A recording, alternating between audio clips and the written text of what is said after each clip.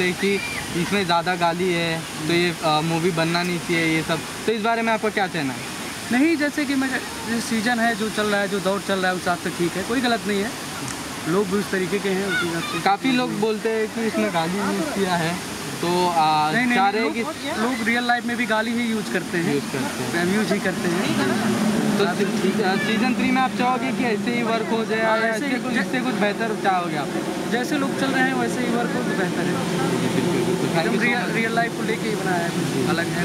आप यहाँ देख रहे हैं सर गाली ज़्यादा दिया गया है तो आपको कौन ऐसा कौन सा ऐसा आपको कैसे लगा कि कौन सा एक्टर ज़्यादा गाली यूज़ किया है इसमें?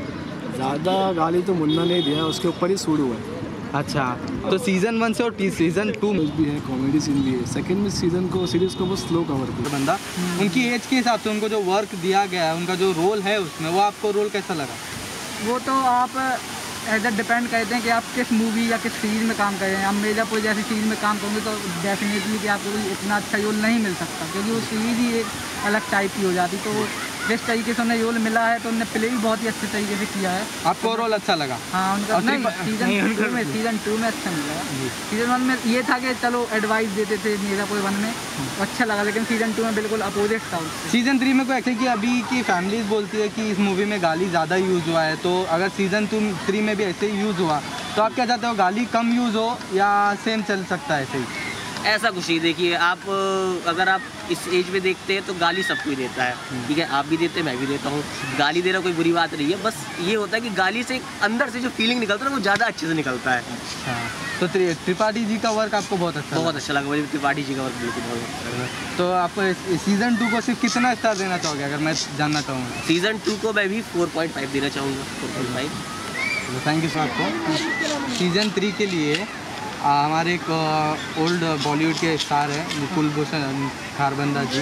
उनको जो सीज़न टू में रोल दिया गया है तो आप चाहते हो सीज़न थ्री में वो फिर से आए? यस यस उनका रोल आपको कैसा लगा इस एज में? इस एज में अच्छा लगा। उनको रोल परफेक्ट था। हाँ उनका और आपका आपका सबसे फेवरेट कैरेक्टर कौन सा है? मुन्ना। मुन्ना और डायलेक्ट डायलेक्ट कौन सा फेवरेट चाहोगे आप? डायलॉग मुन्ना त्रिपाठी का। लाउडू और और कोई और कोई जो एकदम फेवरेट एकदम जो आपको देख के हँसी आता रहेगा? ऐसा फनी मोमेंट जो आपको लगा ये त्यागी जी। त्यागी जी को सीढ़ी लगती है। आगे अगर त्यागी जी यहाँ पे रहते तो आपकी कर देते। लेकिन उसके अच्छा। लिए भी तो सीढ़ी लगता ना। बिल्कुल बिल्कुल। तो आपको सीज़न थ्री में भी आप इसी इसी कैरेक्टर्स को देखना चाहोगे? या कुछ चेंजेस चाहते हो? आप कोई एक्सेप्टेशन की इससे और अच्छा निकले सीज़न थ्री पार्टी है उनकी वाइफ है। जी। तो उनका रोल आपको इस मूवी में कैसा लगा? मुझे पंकज त्रिपाठी की वाइफ का रोल बहुत थोड़ा बहुत लिटिल बिट खराब लगा। क्योंकि उसे वो मुन्ना भैया को छोड़ के और गुड्डू भैया का साथ देने लगती है। वो मतलब अपने गन वाली याद है? गन गन वाली बोलती है।